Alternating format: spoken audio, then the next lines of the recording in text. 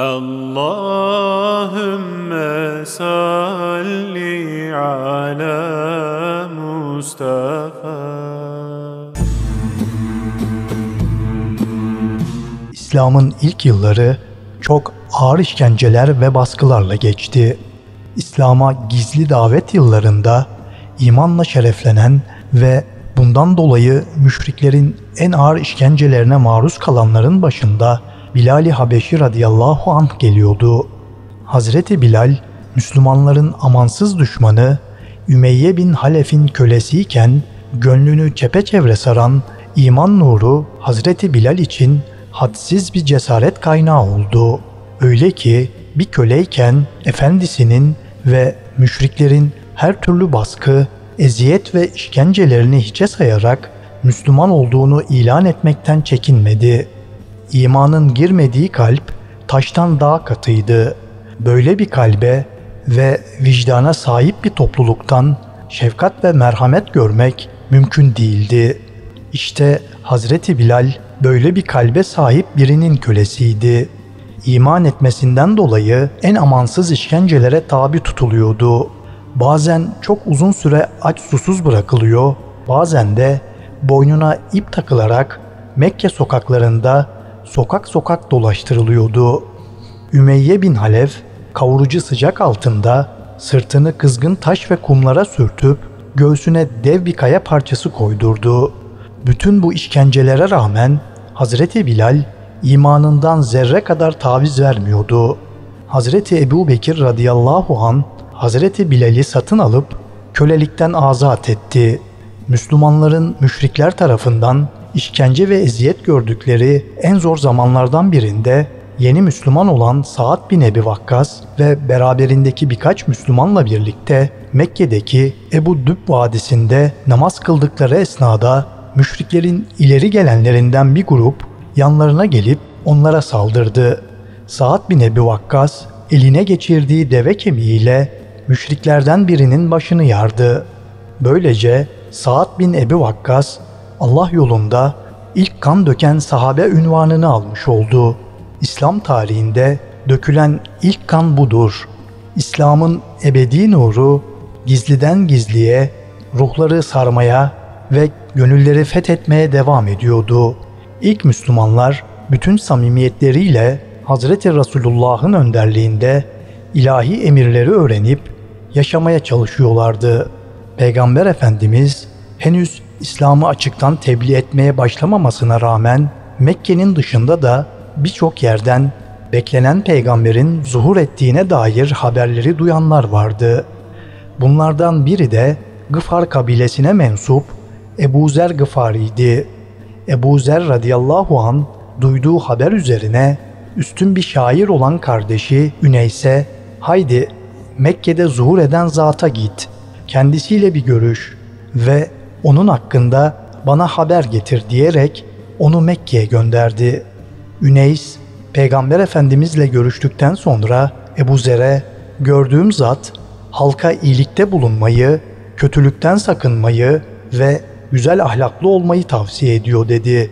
Ebu Zer bunun üzerine onu kesinlikle görmeliyim dedi. Kardeşi Üneys ona gitmesine git ama kendini Mekke halkından kolla çünkü onlar Muhammed'e düşman olmuşlar. Bundan sonra Ebu Zer eline asasını sırtına bir su kırbası alarak yola koyuldu ve Mekke'ye Resul Ekrem'in yanına geldi. Ebu Zer ben Gıfar kabilesindenim. Ya Resulallah bana İslam'ı anlat dedi. Resulullah Efendimiz İslamiyet'i kendisine anlatınca Ebu Zer Gıfari radıyallahu an şehadet getirip Müslüman oldu. Bütün insanlığa hitap edecek ve bütün dünyayı kucaklayacak bir din elbette gizli kalamazdı. Üç sene süren gizli davetin ardından İslam hakikatlerini bütün aleme duyurmanın zamanı artık gelmişti. Halkı İslam'a açıktan davete nereden başlayacağı Resul Ekrem'e bizzat Cenab-ı Hak tarafından önce yakın akrabanı uyar vahiy ile bildirildi. Allah Resulü aleyhisselam bu işin kolay olmayacağını biliyordu. Bu sebeple bir müddet evinden çıkmadı. İlahi emri alan Resul Ekrem Efendimiz Hazreti Ali'ye bize sadece bir kişilik et yemeği yap ve bir kapta süt doldur. Sonra da Abdülmuttalip oğullarını topla. Onlarla konuşacağım. Emrolunduğum şeyi onlara bildireceğim dedi. Ebu Talib'in evinde Abdülmuttalip oğulları toplandı. Kapta bulunan et yemeği ve süt sadece bir kişiyi doyuracak kadardı. Resul Ekrem Aleyhisselam eti bölerek davette bulunanlara Bismillah buyurun dedi. İstisnasız herkes o bir parça etten doyasıya yedi. Sonra şaşkınlıkla baktılar ki doyasıya yenilmesine rağmen yemek çok az eksilmiş olarak yerinde duruyordu. Yemek yendikten sonra Peygamber aleyhisselam söze başlamak üzereyken Ebu Leheb müdahale etti ve oradakilere şimdiye kadar böyle bir sihir görmedik. Arkadaşınız sizi büyük bir sihirle büyüledi dedi. Sonra da kainatın efendisine hakarette bulunacak kadar ileri gitti ve topluluğu dağıtmak için ileri geri konuştu. Peygamber Efendimiz konuşmaya fırsat bulamadan davetliler dağıldı. Resul Ekrem neticesiz kalan birinci ziyafetten sonra ikinci bir ziyafet daha tertipleyerek yine Hazreti Ali vasıtasıyla yakın akrabalarını bir araya topladı. Yemek yendikten sonra ayağa kalktı ve hamd yalnız Allah'a mahsustur. Ben de ona hamd ederim. Yardımı ancak ondan isterim diyerek söze başladı ve ilahi emirleri tebliğ etti. Peygamber aleyhisselamın amcası Ebu Leheb'in yaptığı düşmanlıkları sonucunda hakkında ilahi azabın müjdelendiği Tebbet suresi indi. Muhalefet eden kim olursa olsun Allah Celle Celaluhu nurunu tamamlayacaktı. Bu sebeple de Resul-i Kibriya Efendimiz kendisine karşı yapılan çirkin davranışlardan asla sarsılmıyor, yılmıyor ve yoluna son derece vakarlı bir şekilde devam ediyordu. Ebu Leheb bir gün komşusu Peygamber Efendimizin kapısına pislik ve kokmuş şeyler attı. O sırada Hazreti Hamza radıyallahu an ve diğer amcaları çıka geldi. Hazreti Hamza o kokmuş pisliklerin hepsini Ebu Leheb'e toplattı. Bir gün Allah Resulü harem-i şerife gelerek Hacerül Esved'i öptü. O sırada Kureyşli müşrikler de oradaydı. Peygamber aleyhisselam Kabe'yi tavaf etmek üzere yanlarından ayrıldı. Kureyşliler kainatın efendisine kötü sözler söylediler. Allah Resulü son derece üzüldü ve tavafına devam etti. Yine tavaf sırasında Kureyş topluluğunun yanından geçerken yine onların sözlü sataşmalarına maruz kaldı. Bunun üzerine Allah Resulü durdu ve onlara dönüp ''Ey Kureyşliler, sözlerimi duyuyor musunuz? Varlığım kudret elinde olan Allah'a yemin ederim ki başınıza felaket gelecektir. Nebi Ekrem'in bu sözleri müşrikleri çok korkuttu. Ebu Cehil, ya Ebul Kasım, haydi selametle git. Vallahi sen cahillerden, kendini bilmezlerden değilsin dedi. Kainatın efendisi bir gün evinden çıkmış gidiyordu.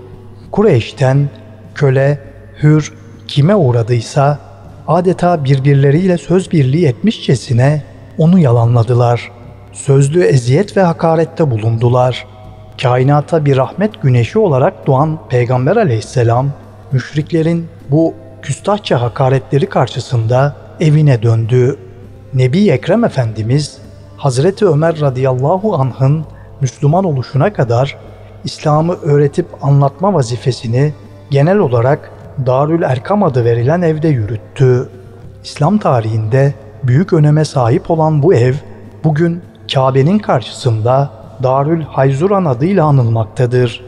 İçlerinde Ebu Cehil ve Velid bin Mure'nin de bulunduğu Mahzumoğullarından bir topluluk uzun uzun konuşup Peygamber aleyhisselamın mübarek vücudunu ortadan kaldırmaya karar verdiler. Vazifeyi Velid bin Muire ve beraberindekiler üstlendi. Resul Ekrem'in namazda Kur'an okumaya başladığı bir sırada Velid ve beraberindekiler yanına kadar sokuldu. Fakat birden onu göremez oldular. Okuduğu Kur'an'ın sesini duyuyor, kendisini göremiyorlardı. İleri doğru gittiklerinde ses arkadan, arkaya doğru gittiklerinde ise ses ön taraftan geliyordu. Nihayet hayretler içinde kalıp çaresizce dağıldılar. Yine bir gün Ammar bin Yasir ailesi işkence altında zalim müşrikler tarafından inletilirken Resul Ekrem Efendimiz geldi. Yürekleri parçalayan bu durum karşısında sabredin ey Yasir ailesi sizin mükafatınız cennettir. Sabredin ey Yasir ailesi diyerek sabır tavsiyesinde bulundu. İşkence altında kıvranan Yasir radıyallahu an Ya Resulallah bu iş daha ne zamana kadar böyle sürüp gidecek dedi. Resul-i Kibriya Efendimiz bu suale Allah'ım Yasir ailesinden rahmet ve mağfiretini esirgeme duasıyla karşılık verdi. Videoların devamı için kanala abone olup bildirimleri açmayı unutmayın.